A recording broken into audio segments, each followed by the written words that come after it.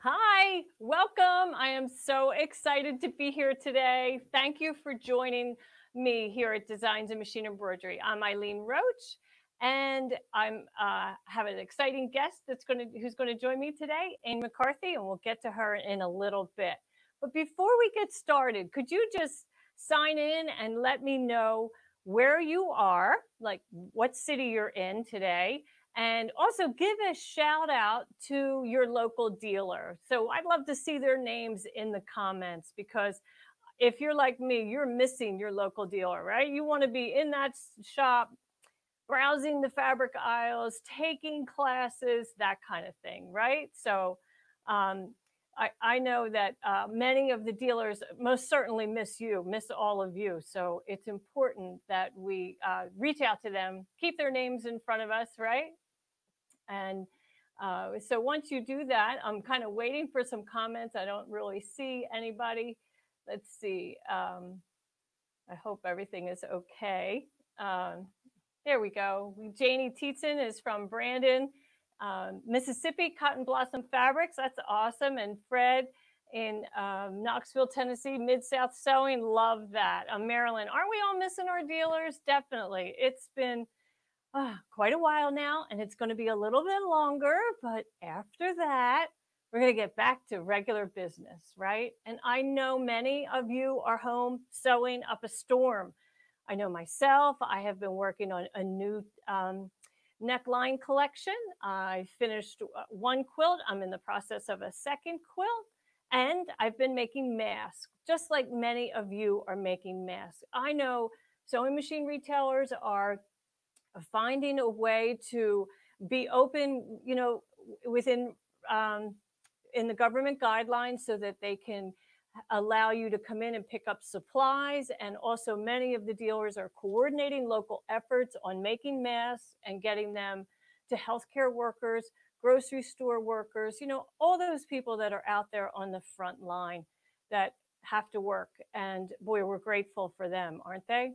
But I learned that when you make masks um, for a group of people, let's say at home, right? Your whole family, maybe there's five people in your house. And if you're like me, maybe you've made all five from the same fabric. And then you, you hand them out to everybody in the family and nobody knows whose is who, right? So I have a solution there for you. Um, Let's see. And Fred, you're making lots of masks with help from Karen at Mid South. That's awesome. That's awesome. And Cindy Murphy Taylor at Round Rock, so much more. Oh, it's really, it's so great to read all these names. And Misha Pennington, you're having to make masks for um, compromised family members. Good idea. But, you know, really, we feel, um, we've heard now, Dr. Fauci, my new hero for sure, tells us we should be wearing masks all the time. So when we're out in public, and why not? My goodness, we have sewing machines. We can easily do that. So, uh, and Judy Warren, you are uh, out in Hawaii on the Big Island, and um, Discount Fabric Warehouse is promoting the mask and keeping you notified about Alaska. Alaska does uh, Alaska, Elastic seems to be, uh, uh, you know, hard to find in some stores, but I know that there's sources online. So reach out to your local dealer; they can most certainly steer you in the right direction. So I'm going to share my uh, PowerPoint screen so that you can see what I recently did. So um, I made the, on the left-hand side are gray masks. And I actually just cut up an old t-shirt and I was able to make eight masks from that t-shirt fabric. And well, I monogrammed a digit, the you know the number one, two, three, all the way through ten uh, on each individual mask, so that when I gave that to my local grocery store and they handed them out to their employees, it was um, you know a way for each person to identify which one was theirs. And then the two on the right hand side are um, these masks were actually made for my company from our dear friends over in Bangkok, Thailand. They sent us uh, a whole, like several dozen masks for our families and employees, which was very sweet. So I monogrammed my in laws' names on it, one in white and one in light blue, because literally they have the same monogram. So that's how I solved that problem. And, uh, you know, I think a lot of people were concerned that we would be making these masks and they, they would be thrown away, but they're not. You know, they're washable, they're usable. So, um, you know, don't hesitate in using your supplies that are already at home and skills um, to use that. So let's see. Vicki Watkins, Watkins wants to know, should we be using the exquisite, exquisite Polypro Performance Stabilizer into the mask or just using as a removable um, filler? Well, I'm in my mask, I use that Polypro Performance as a second piece of fabric. So I have the outer fabric, in my case was the t-shirt knit, and I lined it, my t-shirt knit with the Polypro and, you know, right sides together and then turned it and treated that like a fabric. And so it's machine washable. I can launder it as often as I'd like. So that's how I used it. Um, I, I don't have them right here. They're, um, I don't have one here to show you, but they're outside the building. So uh, anyway, but that's how I used it. Two, two uh, layers together. I could probably put that on the blog. Let's see. And Deborah Morgan, you made them for your husband and yourself with cotton quilt batting.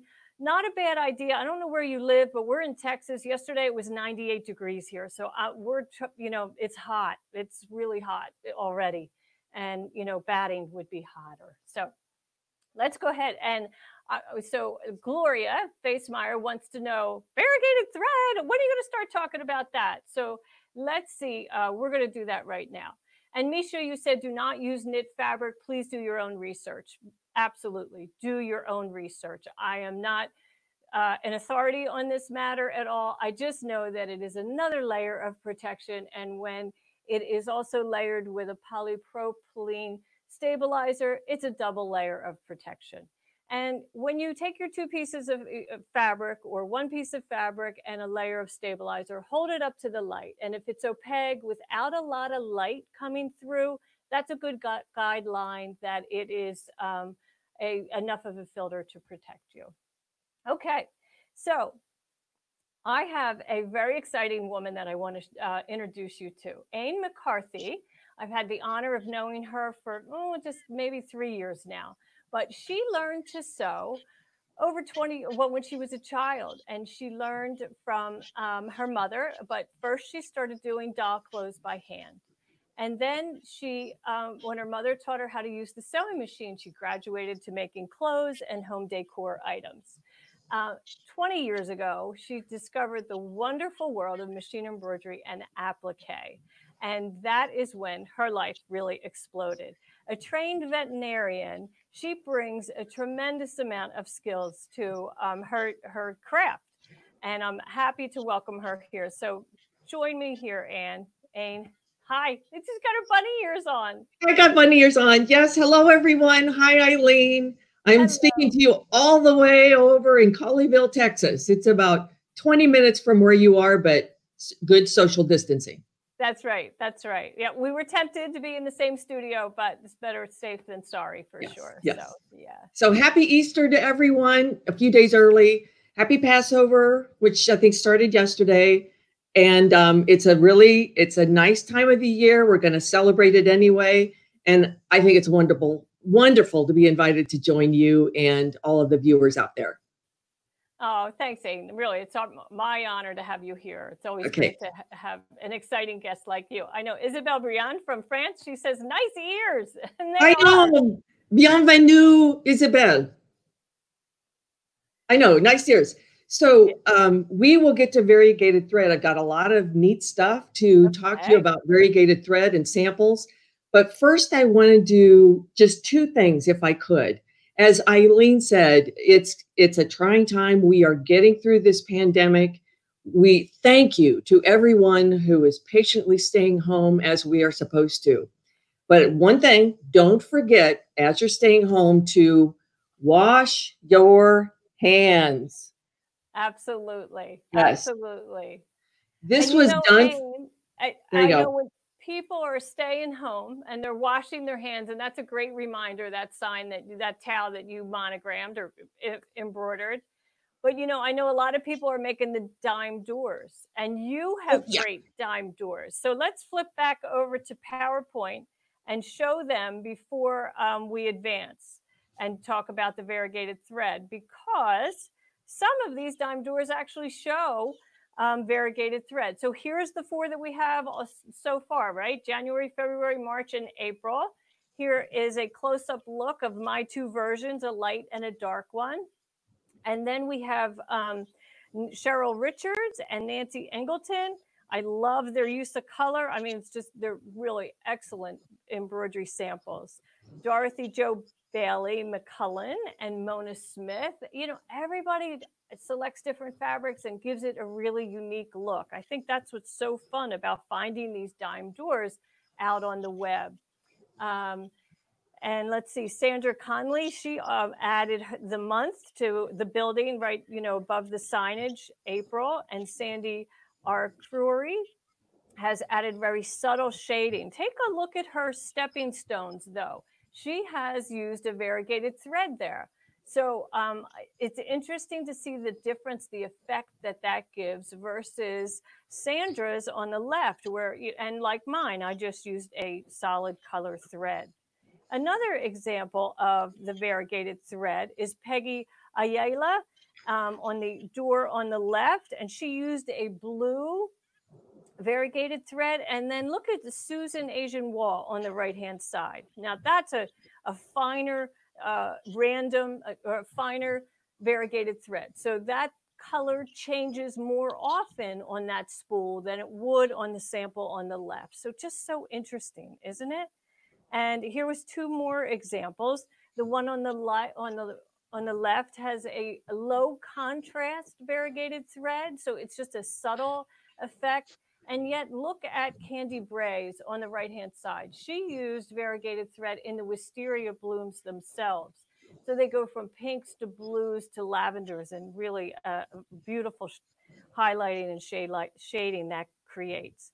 But here's Aine's. Look how creative she got. She didn't use variegated thread, but she sure had a good time. So, Aine, maybe you would talk to us a little bit about your creation there.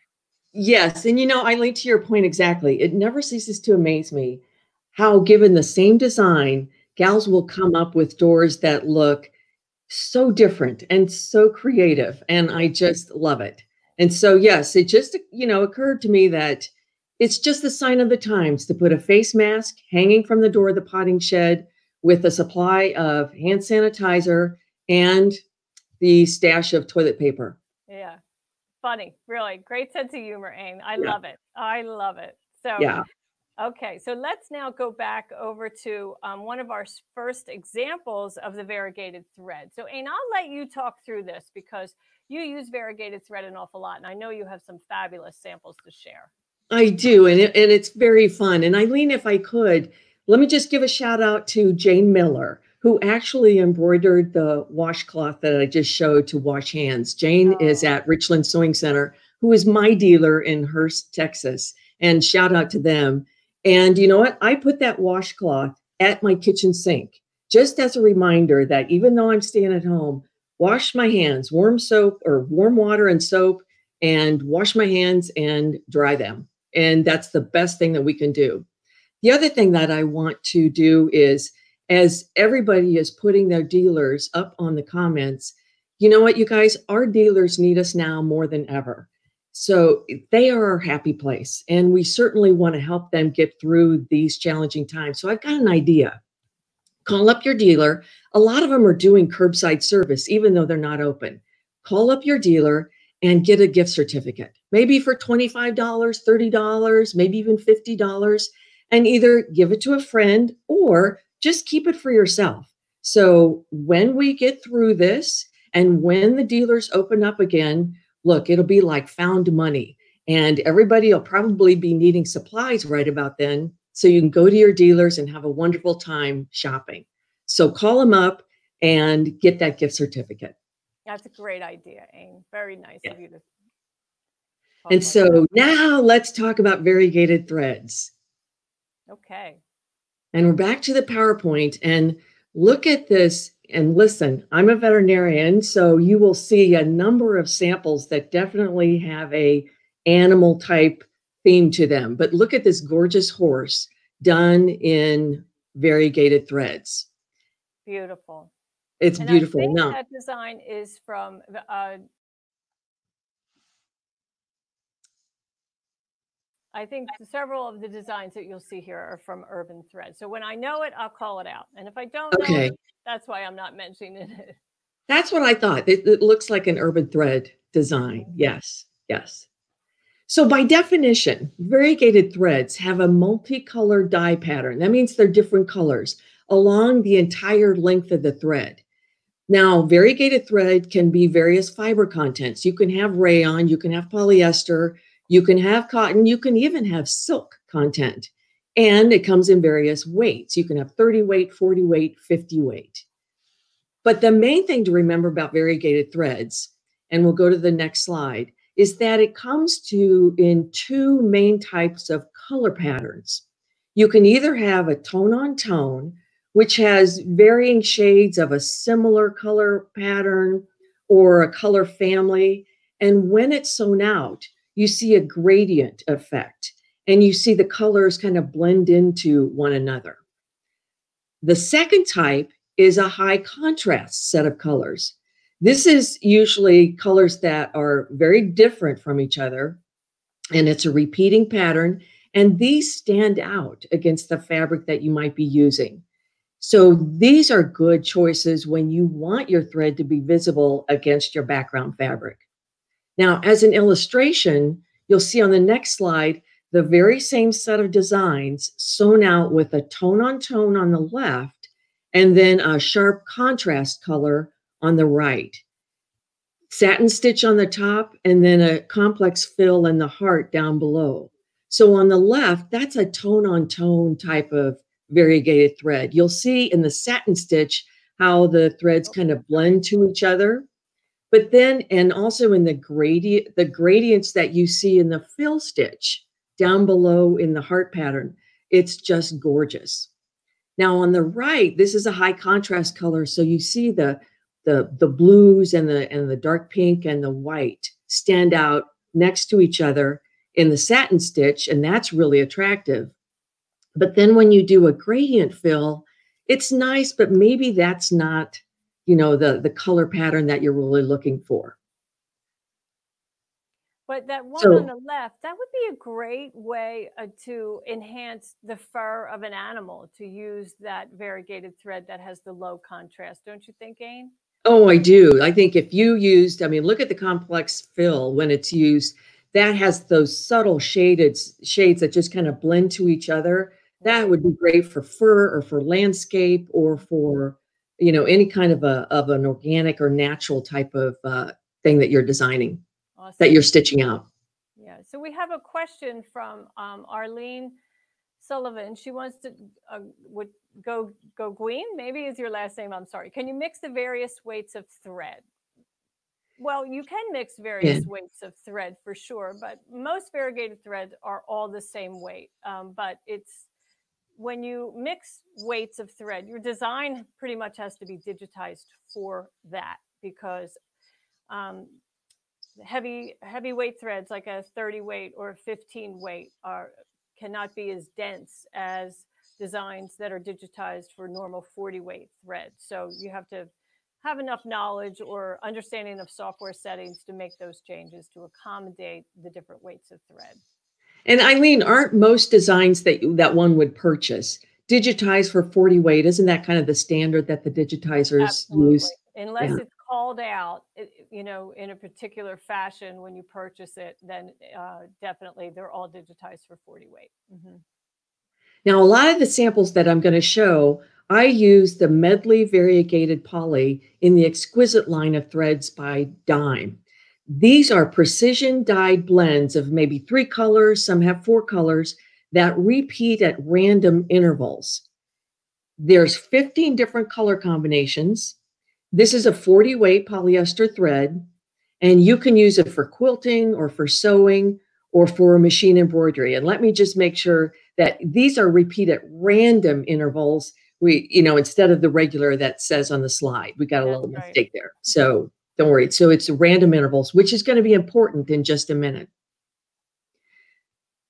So this display you may have seen at your dealers showing all the 15 different color combinations And if you haven't seen it, then certainly look for this when your dealer opens up again pretty soon. Or Fingers call them. They'll probably ship it to you, right? They might. Yeah. Call them, see if they have it. Deliver it curbside. But and you so, have a great um, method for really mastering the use of variegated threads. And I, I love this tip that you're about to share. It's really very impressive. So let's advance to that slide. And yes. You talk. So, so the question is, so I see it on the spool or on the cone, but how do I know what it will look like when I sew it out? So here's an idea. I go to my software, my PEP software, and I make about four, five, six lines and I convert them to steil stitches, which are just consistent width of satin stitches. And I make it about four millimeters wide, five millimeters wide, which is about the standard width of a satin stitch. And so I will sew it out. I'll use maybe a couple of layers of a medium weight cutaway and I will label it with the thread number and then the name. And then I will cut these apart and put them with the cones of thread and keep it with the cones so that if I'm look if I can't remember what it looks like, it's already sewn out and I can pick the color combination that I want. Because it certainly looks a little bit different than on the spool. Yeah, but Aine, that is brilliant. When I saw that, I was like, wow, why didn't I do that 20 years ago? I mean, it, you know, it would take you about 20 minutes to do that task and you'd have that sample, that reference forever. And it's just a great idea. Thank you for it, Exactly. Exactly. Mm-hmm. Yes. I like that. So now, if you're interested, and everybody should be convinced that they want to try more variegated thread, here's a great opportunity to get started with a six pack, a variety pack with six cones of thread available from Dime. And these are the medley variegated. These are popular colors. And so you will have a lot of fun. And these are these are great to start with. Sew those out in a steil stitch, and you'll see the beautiful color combinations in these six spools. So let's see some designs using variegated thread. Look at these gorgeous scissors. Now, these, this was sewn out with, I'm pretty sure it was the zebra color combination. So these blacks and these grays and these kind of steel colors. They have a running stitch, which works great with variegated thread, but then look at the shading and the highlights on the blade and on the handles. It's absolutely gorgeous using a variegated thread. It really kind of delivers that nostalgic, that vintage look. Right. Imagine if you had just stitched that in one color, it wouldn't have, you know, the, the appeal that it has in this variegated thread. It's a great way to really add eh, extra interest to a, a simple design as a running yes. stitch design. Yes. Mm-hmm. And look at this design, these stacked cups. You know, this design reminds me of the tea towels that my mom would stamp with that heat transfer, those stamps, and then I would embroider these by hand. This is also a running stitch design, and I think it was done in the summer berries or these purple and pink tones. You see again the highlighting and the shading. And since these threads, the medley threads, are at random intervals, you get that subtle shading and you're not going to get the stripes that you would get if the thread was at you know every inch or every inch and a half like in some threads. It's just right. it's gorgeous. And Aine, if you were doing uh, several repeats of this same design in the same kind in the same variegated spool each stack would be different. And that would right. make it really great on a that's right. Can you imagine this on a set of eight to ten napkins you know, that your cloth napkins, no two would be alike. Yeah, and Barbara McGinnis has she's asked this question: Isn't coloring kind of luck, depending on where your color starts? Well, you know, yes, that's true, but I think by doing the test that uh, had illustrated earlier, by testing that thread just by stitching a long satin stitch about six inches wide, so you can really see how that thread is going to lay down that gives you a good indication of what you can expect from that spool. Um, so it, this is not the type of thread you would use if you're, you know, if this section of a leaf has to be the dark green, you know, then find a solid color and go in that route. But if you have a little bit more leeway and you just want to have a more organic look, then variegated thread is a good solution for that. Absolutely, Eileen. It's a it's a it's a wonderful surprise that um, kind of a serendipitous like oh my gosh this is gorgeous. The, just the way that the colors fell. Okay and the next one quilting with variegated thread. Quilting was made for variegated thread i think. Look at these couple of quilt blocks using the Pebble Passion quilting designs. And this was quilted with the Medley variegated thread forest. Look at the light greens and the dark greens and the and the um, really and the darker greens as it comes out in this design. Now, again, these are random intervals, but the way this played out, it's absolutely stunning. And one big thing that I like about medley variegated thread is that I can find out the colors that the thread is made up of. So, for example, if I, if I want to do some coordinating designs with colors that match, I don't have to guess because, for example, here I know that forest contains these four color numbers and color descriptions in the exquisite thread line. So I know exactly what the colors will be when I want to match them. That's awesome. Great tip. Yes, yes. So in our next one, I think we've oh. got now, don't think that you have to limit yourself to just one cone of variegated thread. Look at this beautiful butterfly that used three different color combinations on this butterfly. So we look at, we've got a dark purples around the body and then the greens and the pinks in the wings. That's beautiful. That is gorgeous, just gorgeous. And you, you know, I want to, I'm going to take over. I think I'm going to try to take over here for a second because uh, one of my office mates has hanging in his office a Jimi Hendrix uh, work that I, I want to share when you use variegated thread with black. So if you let me come up here full screen, I'll bring that up. How cool is that? So the variegated, of course, is all that color in his hair, but everything else is black. What a great effect. Really unique. So I just had to share that. Very cool. That's remarkable. Mm-hmm. Wow. Okay. So So and I think the the next slide is also was there one more with uh, oh the feather. Yes, let's get to the feather. Oh, it's stunning. Again, yes. this is a uh, urban threads design. Beautiful. Yes. Mm-hmm. Yes.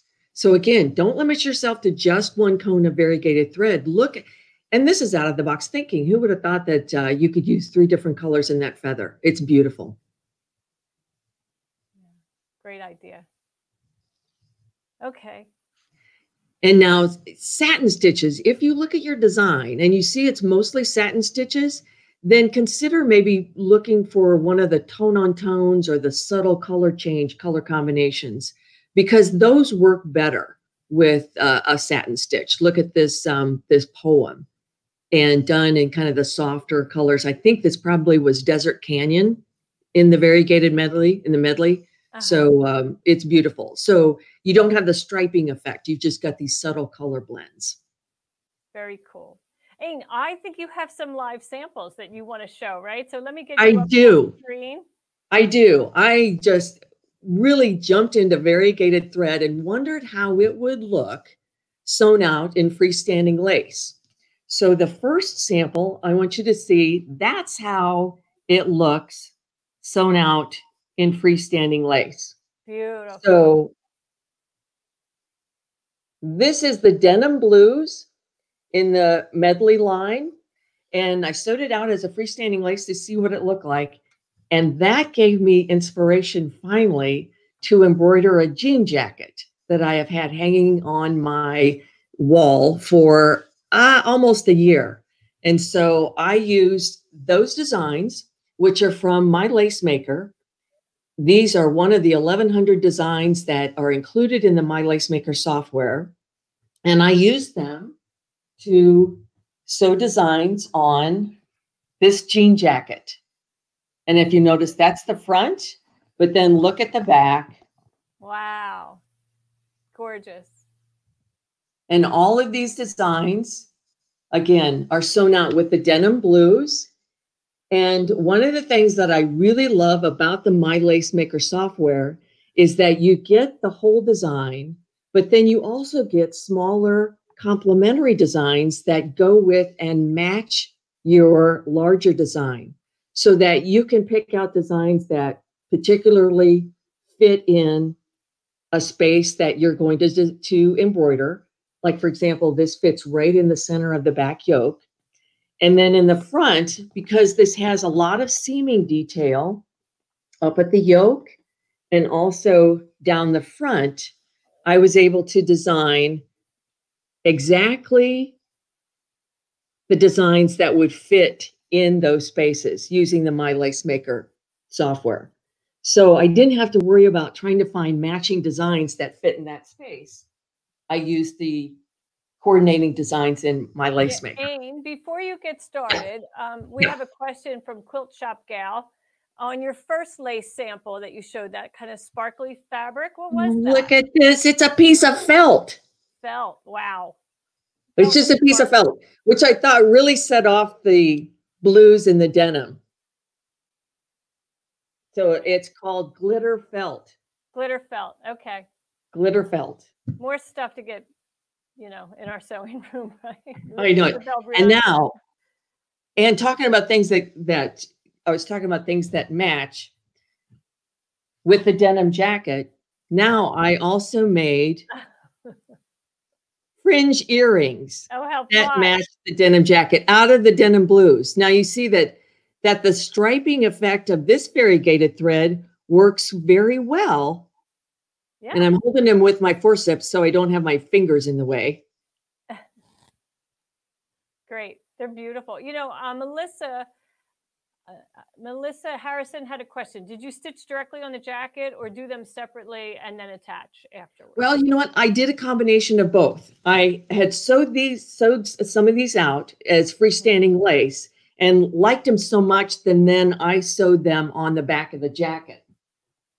And that's these two. And I just tacked them on there by hand. But these were sewn directly on the jacket. Okay. And the front designs were sewn directly on the jacket. Could not have done this if I didn't have my snap hoop monster, awesome. which is the magnetic hoop. Because then it, it's it you don't have to um, try to put those welt seams in the standard hoop. Right. That was that's the life changer. That snap hoop monster. But I also want to show that look at what also you can do with the lace earrings you can put crystals on them. Yeah. And so, and these are from, I'm going to do the plug. Those lace earrings are from the Lace Charm collection by Eileen. Thank you, Aine. Yeah, yes. And your dealer has these, and that's an easy curbside delivery service. Yeah. So it's kind of the answer to, hey, you know what? The answer to the question of can you have too much embroidery or can you have too many crystals and sparkly things? And that answer is no. Mm-hmm. Okay, so Aine, you know, Judith Schwartz here is kind of, you know, breaking the rules. She wants to know what the inside of the jacket looks like. Well, when I teach people, I always tell them if you want to be disappointed, look inside my garment. so I don't know how you feel about that. You know, if you want to. Um, I'm gonna take. I'm gonna. You want me to undress my silver dolly? Yeah. I will show you the inside because I I think I can be proud of that. Good girl. I think. Okay, I'm going to be brave. There's the inside of the back. Oh, yeah. Look at that. And one of the, the stabilizer I used was um, piece and stitch, which I think has some water soluble fibers in it so that when this jacket goes through the wash, those pieces of stabilizer that you might see there are going to go away.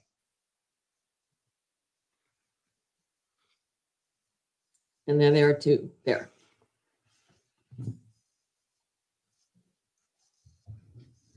Okay, so what other okay. great samples do you have? Here's another great sample I have. Let me put the that. Oh, speaking of sparkly things, true to the season, I also used my Lace Maker software to design a couple of Easter eggs using Kingstar Metallic thread in the background grid.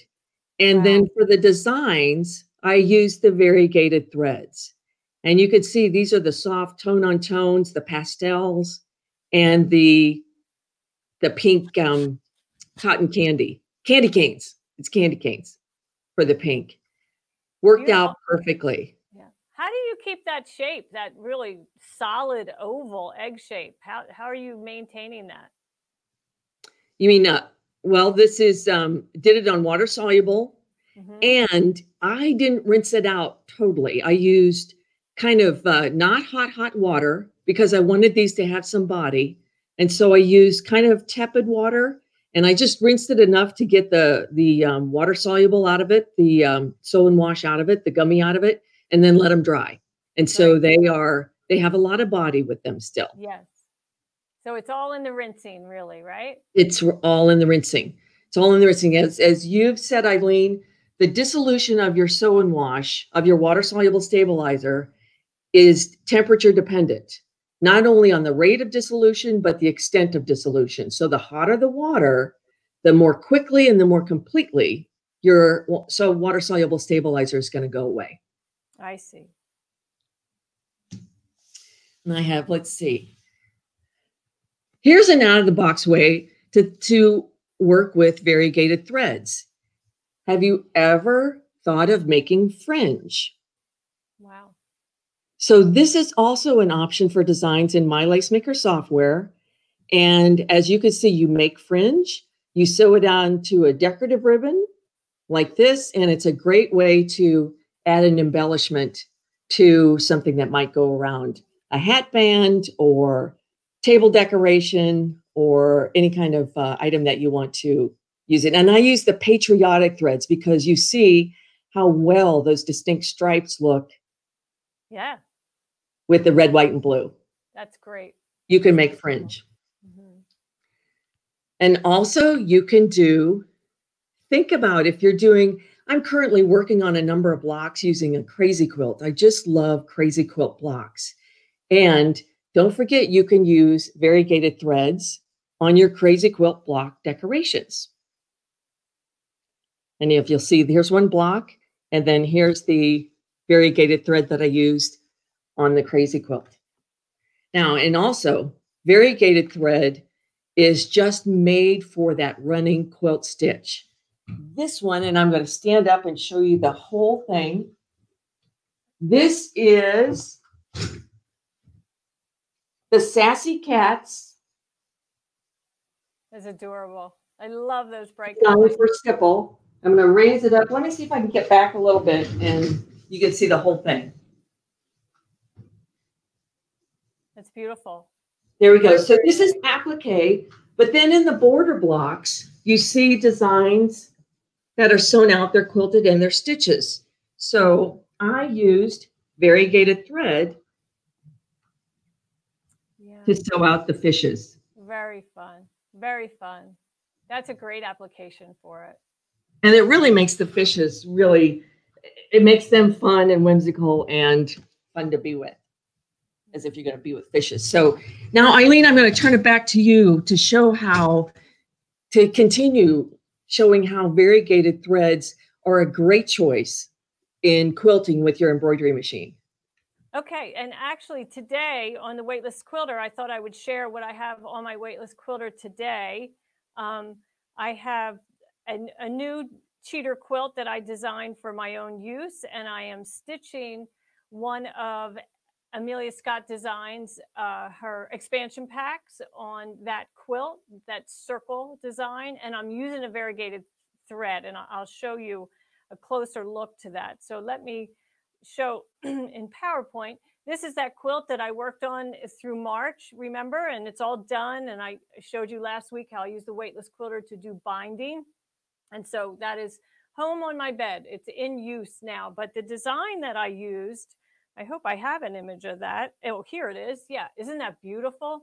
It's that's our sunset variegated and it is just so colorful. I stitched it here in black so you could get a good look at it. Of course, on that red ribbon quilt up here, you're not really going to be able to detect that thread, right? With all those beautiful fabrics. So sometimes, you know, you want to select a thread that just blends and uh, that most certainly is what I did on red ribbons.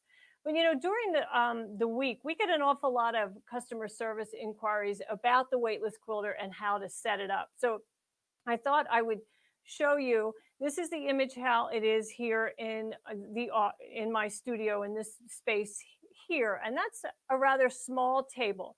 So I have my floor bars and poles outside of the table. So one floor bar is on the left hand side of the table, and then the back floor bar is behind the table.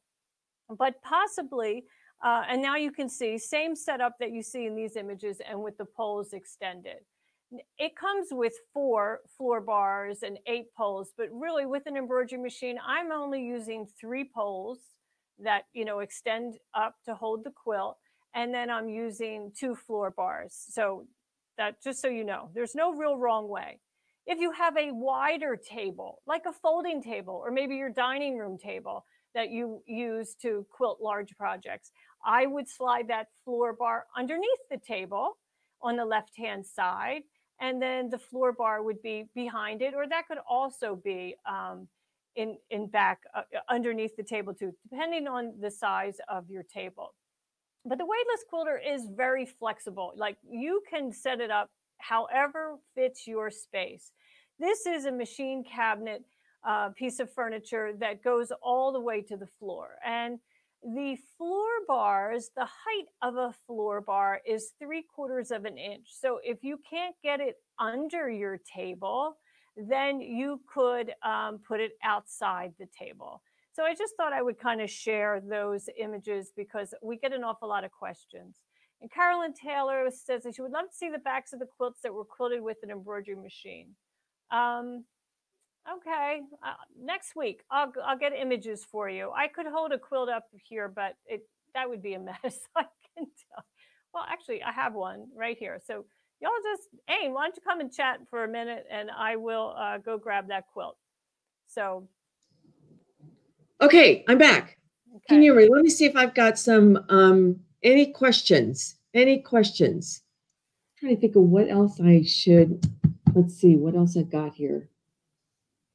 Okay, well, let's see. Um, Carolyn Taylor. Those are good. To, yeah, Carolyn Taylor wanted to see the backs of quilts. So okay. I'm going to bring this. Oh, you have a back there. Well, no, I looked at this and and I did it with um. I put the backing on during the um during the assembly. Okay. But I so, have one in the next room. Do you have one? Yeah, I do. So Carolyn, this is the back of the quilt. You can see some tie, one tie off, you know, and one start. And then this is the front and you don't see any tie offs or starts. Now, I'll tell you, um, Carolyn, I'm not that picky. You know, I do a lot of quilting. Uh, what I wanted to do is tie off and not disassemble. So that's important to me. I don't worry about burying those thread tails. I know many people will take the time to do that. But on like red ribbons quilt, there were over 85 hoopings. I am definitely not going to, you know, take a needle and, you know, work that bobbin tail into the quilt. That's not what I'm going to do. If it bothers you, um, you can use a busy back fabric. So find a print that's a, a little bit busy and that will camouflage the tie offs in the back. I like to coordinate my back with my front and I use the same thread in both the needle and the bobbin. So that's why I coordinate my fabric so that that thread will look um, attractive on both sides of the quilt. That's pretty much my rule of thumb. And Eileen, I've got um, um, the stipple baby in progress that will illustrate exactly what you're talking about. Okay. So great. this is another stipple baby. It's in progress. This is one row, and it is a quilt that has that has different rows, and it's a clothesline yes. that will hang various baby clothes. So this is, and it is a quilt as you go. So this is the front. Oops, there we go. Nice. Okay. Now, if I turn it around, I'll show you that same area on the back. And as Eileen said, I use a pretty busy print on the back right. to hide some of the tie-offs. And I also got this tip. I increased my top embroidery tension by uh, just one click when I'm doing quilt. And So it kind of makes a little bit more balanced stitch. for a more balanced stitch. Okay. Mhm. So yes, so you see the tie-offs, you see, Yeah. you know, where the pants Right. were. And you know, every quilt they, it has a front and a back. I mean, it does. Yeah. You Yeah. know, so we don't wear our clothes inside out, No, no. right? So why do No. we worry about that? Yeah. Yes. Anyway, okay. So, do we have any other questions? Uh, Terry B- Bavona, she wanted to know what about the bobbin, and so we answered that. She's satisfied with that. So, and which uh, Delia also asked what thread for the bobbin. I always match the top. I when I'm quilting, I skip that embroidery bobbin, you know, thread. I don't want that lightweight. I want the same weight top and bottom. That's what I Mhm. do. Mhm. And so next week, I'm pretty excited. Uh, we have two Facebook Lives next week. So let's go ahead and talk about that. On Tuesday, I'm going to uh, go live at one o'clock on April 14th with Ashley Jones is going to join me, and we're going to do Perfect Embroidery Pro. We're going to spend a, a good solid half hour, 45 minutes, maybe an hour on Perfect Embroidery Pro. We have uh, some simple lessons, and then we're going to field your questions. So um, that's for software owners. And then next Thursday, we have an action packed um, afternoon, then too. So you'll have to, if you like us on Facebook, you'll be notified when we're going live. And if you subscribe to our YouTube channel, you will also be noti- notified when, notified when we're going live. Um, if you don't have any more questions, I'm going to sign off. And I most certainly want to thank Aine for um, joining me today. It was great to have you here. It was Wow. a pleasure. Yeah. And Thank you everyone for joining. Yeah. Wash your hands, right? Love that message that you gave everybody. Yeah. That's wonderful. And um, happy holiday, happy pa- Passover and Easter to all of those who celebrate that. And stay well, keep safe, and enjoy this time at home. It's it's a gift of time that we don't often get. Bye for now. That's true. Yeah.